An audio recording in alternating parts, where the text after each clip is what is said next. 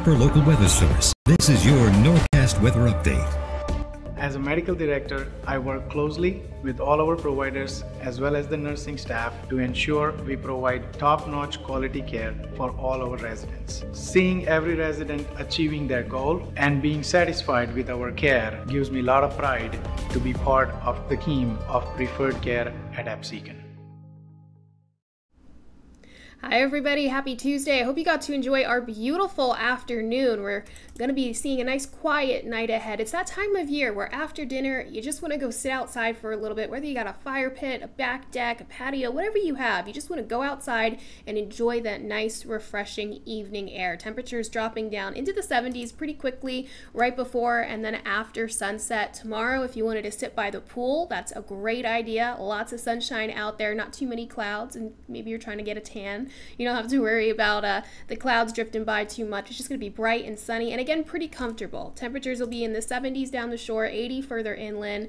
Uh, speaking of down the shore, next couple of days are going to be winters as well. Lots of sunshine out there and really not much in the way of rain chances, but also not much in the way of humidity. We're still very comfortable for the next few days. Today we had those dew points kind of in the mid 50s for most spots. They're going to climb a little bit day after day, but I would say not until about Friday or Saturday do we feel kind of sticky and humid once again.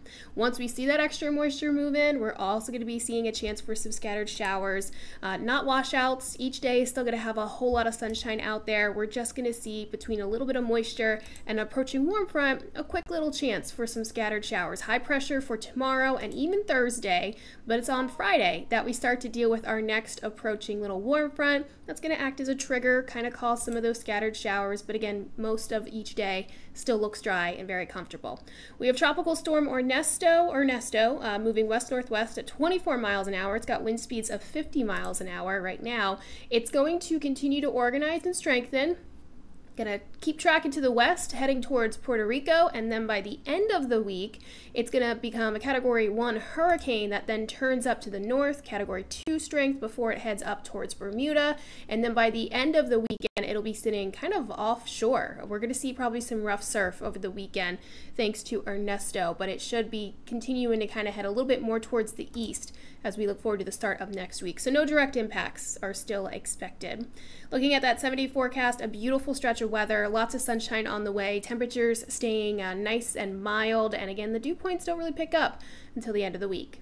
Okay, hope you guys enjoy the rest of your evening. I'll check back in with you later on tonight with your bedtime forecast.